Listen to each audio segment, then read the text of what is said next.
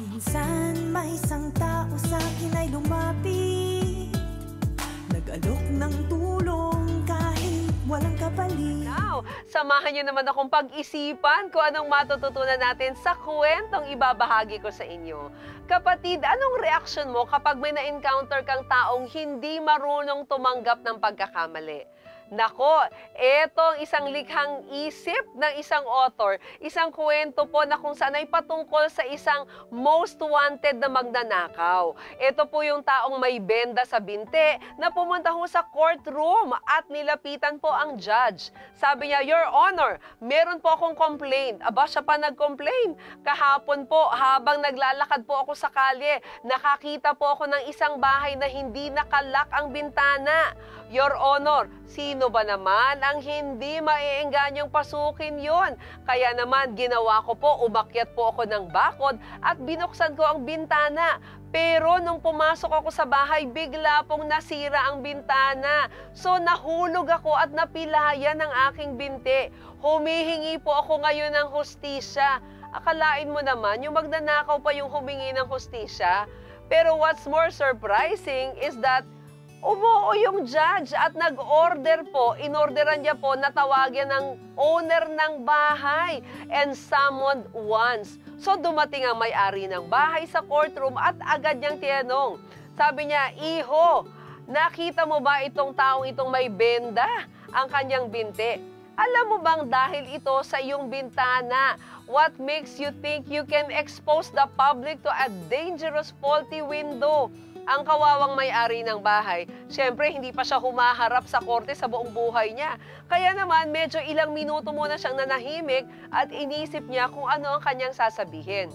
Sabi niya, Your Honor, hindi ko po kasalanan yan. Ang totoo po, nag-hire ako ng karpintero para gawin ng maayos ang bintana.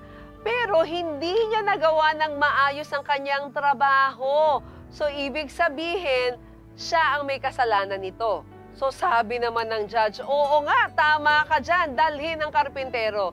Ito naman ang ginawa ng judge. So syempre dumating ang karpintero at agad siyang tinanong ng judge, Iho, bakit naman gumawa ka ng hindi matibay na bintana?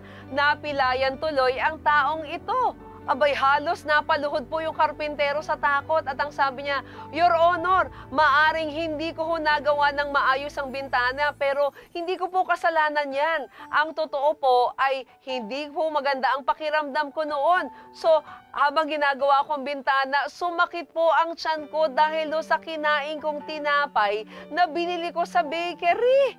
Ay nako, so ibig sabihin, ang baker po ang may kasalanan. So, ipinatawag po ng judge ang baker. Hinila ko papasok ng courtroom ang kawawang baker. Nalaman po na sira ang tinapay. Kaya sumakit ang tiyan ng karpintero dahil hindi mo ginawa ng mabuti yung tinapay. So, ang sabi mo naman ng baker, Totoo po, Your Honor. Baka namang half-baked lang po ang nagawa kong tinapay. Pero hindi ko po kasalanan yon. Ang totoo po, habang ginagawa ko yun, may isang magandang babae na pumasok po doon sa shop namin at bumili ng pastries. Ay, naku po, Judge. Sana nakita nyo kung paano siya manamit. Nakaka-distract po talaga. Kaya ho napabayaan ko ang niluluto kong tinapay. Dapat kasi hindi pinapayagan ang pagsuot ng maikling damit sa public. Well, sabi ng judge, find that woman. So, syempre, hinanap. Maya-maya pa, dumating na ho yung babae. Agad namang nagprotesta yung babae at sabi niya, Your Honor, narinig ko po ang sinabi ho ng baker. That dress caught his eye, hindi ako the dressmaker ang dapat ho nasisihin dito, yung gumawa ng damit ko. Arrest the dressmaker, sabi ng judge. Ay nako, sa pilitang dinala ang dressmaker sa courtroom. Sinabi ng judge, yung damit na tinahimo nakaka-distract sa baker. Kaya yung niluto niyang tinapay ay hindi masyadong naluto. Sumakit tuloy ang tiyan ng karpintero na gumawa ng bintana kaya na aksidente ang binti ng magnanakaw. So ano masasabi mo? Alam niyo po mga kapatid, ang dressmaker po ay halos hindi ho makapagsalita. Hindi siya nakapagbigay ng maliwanag na explanation. Kaya naman pinag-utos ng judge na siya ay bitayin. Pero hindi po nagawa dahil matangkad po yung dressmaker. Halos yung ulo niya ay nandoon na ho sa kisame ng kanilang courtroom. So the judge ordered to find a shorter dressmaker because someone must pay after all. Pinag-utos din ang mga babae na magsuot na lamang ng ibang damit. Sinabihan ng baker na bantayan mabuti ang nilulutong tinapay.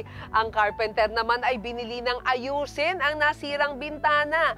Habang pinagsabihan naman ng may-ari ng bahay na ilak ng mabuti ang bintana. Pero baliwala ang lak sa magdanakaw. Nung gumaling ang kanyang pilay, bumalik sa bahay at ninakawan ulit. At nang makitang ayos ang bintana, sinira ito at pinasok and took whatever he wanted.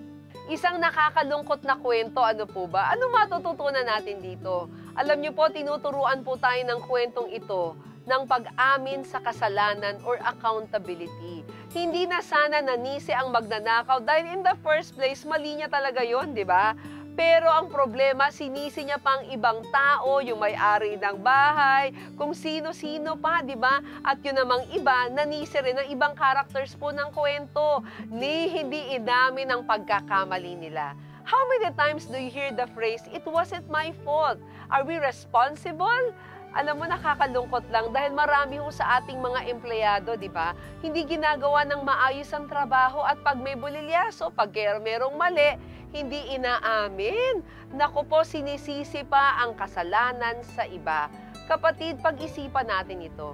And I hope na ang ating mga sarili mismo ang simula ng pagbabago. Let's be accountable and responsible. Sabi nga ni Winston Churchill, the price of greatness is responsibility. Kaya kapatid, tandaan, accept responsibility for your actions. Be accountable for the results. Take ownership for your mistakes. At siguradong gaganda ang mundo.